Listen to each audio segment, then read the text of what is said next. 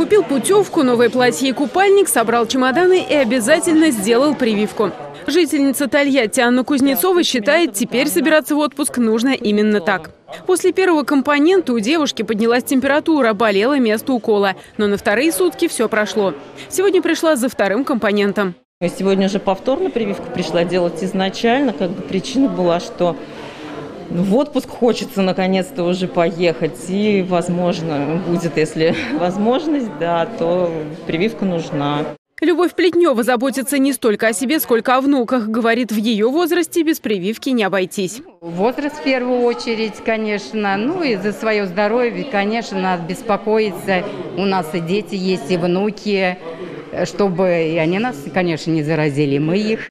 Прививочный пункт при третьей поликлинике Тольятти работает до 12 ночи. Помимо этого, вакцинироваться можно еще в пяти кабинетах учреждения, которые работают по графику поликлиники. В каждом из них ежедневно прививают около 100-150 человек. Сейчас надо делать прививку э, обязательно, потому что только, только э, привитое население – это гарантия того самого популяционного иммунитета, который поможет и защитить от э, заболевания, и даже если мы заболели, то перенести это заболевание в легкой форме и, как бы сказать, не довести до серьезных осложнений, которые, в принципе, могут привести к инвалидизации пациента.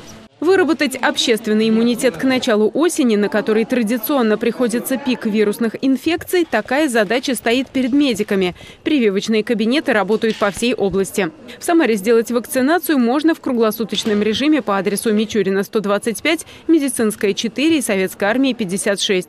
Виктория Шарая. События.